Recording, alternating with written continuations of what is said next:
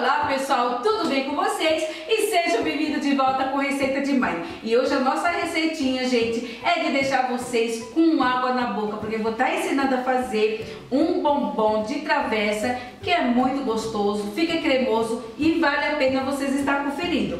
Mas antes, se vocês não for inscritos, já se inscreve no canal, deixa aquele joinha e não esqueça de divulgar para os amigos também de estar clicando no sininho para vocês receberem todas as notificações que todos os dias estou postando novidade para vocês. Então, vamos começar nossa receitinha.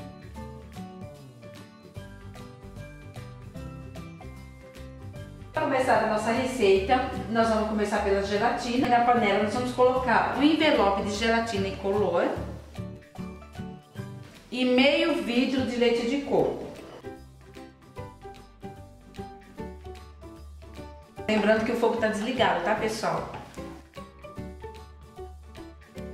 Tá vendo pessoal? Agora nós vamos deixar aqui hidratando, já voltamos. Agora nós vamos acender o fogo e vamos ficar mexendo aqui até dissolver completamente, sem deixar ferver.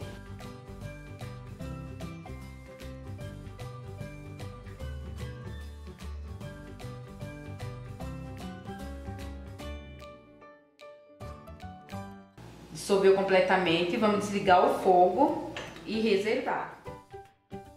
No liquidificador. Então nós vamos colocar uma lata de leite condensado.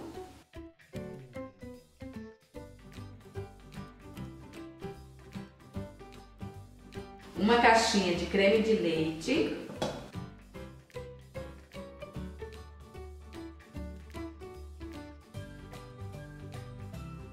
Meia xícara de chá de coco ralado e a nossa gelatina dissolvida.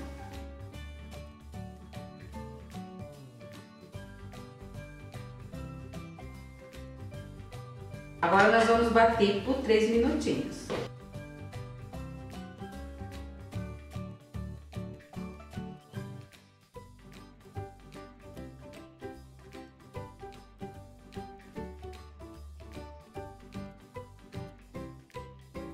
Vamos colocar a nossa primeira camada, né? Da nossa sobremesa.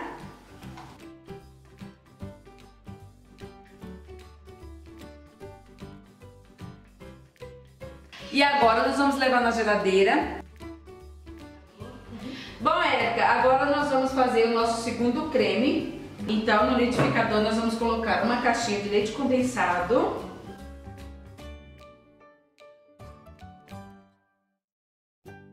Uma caixinha de creme de leite,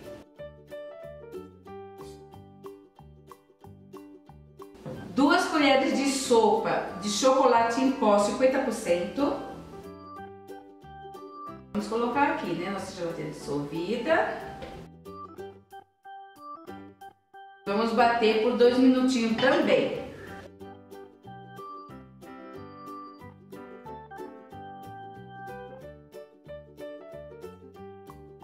Deixei bater bem, né? Então agora nós vamos transferir para mais. Agora nós vamos colocar a nossa segunda camada, né?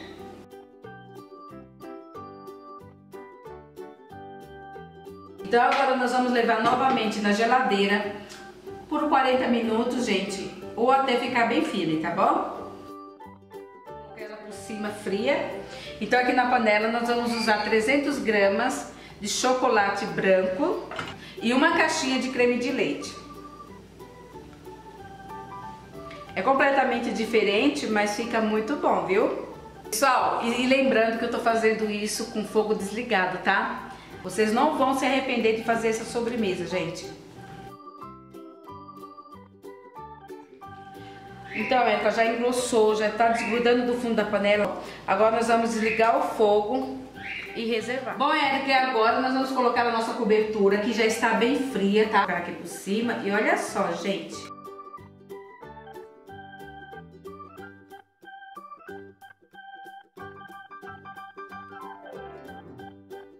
Agora, delicadamente, nós vamos passar para espalhar, tá? Vai ficar purinho.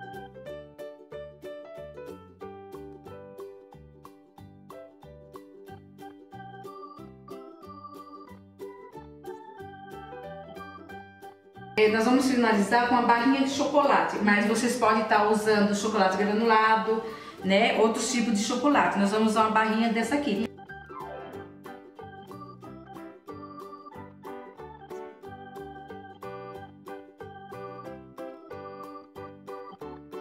E agora nós vamos levar novamente na geladeira, só que agora nós vamos levar por uns 20 minutos, porque aí essa cobertura vai ficar mais firme e bem gelada. E a nossa receitinha já tá pronta. Então agora vamos cortar um pedaço dessa delícia para se saborear, né? Então, vamos aqui, eu vou tirar isso aqui, ó, para poder cortar direitinho, tá, gente?